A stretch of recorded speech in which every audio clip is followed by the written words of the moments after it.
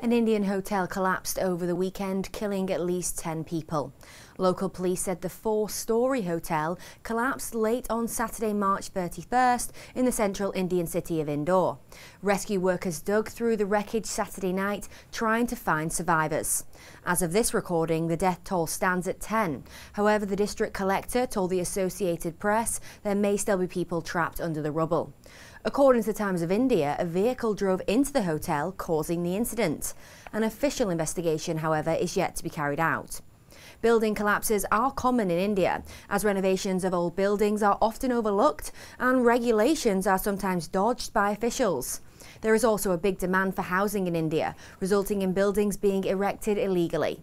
Last year, 33 people died in Mumbai after a building more than a century old collapsed in the city's financial district. For United News International, I'm Rachel Latham.